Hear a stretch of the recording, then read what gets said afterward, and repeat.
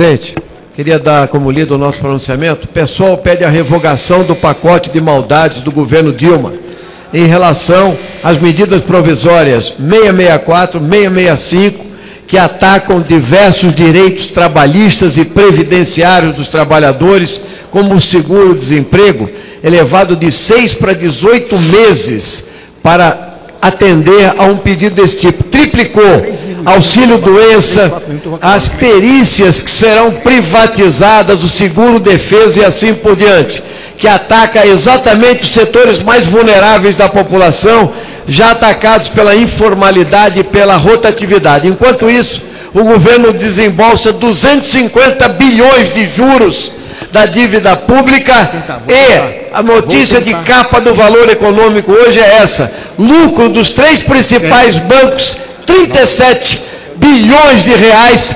27,5% a mais que 2013. Essa é a vergonha do Muito obrigado.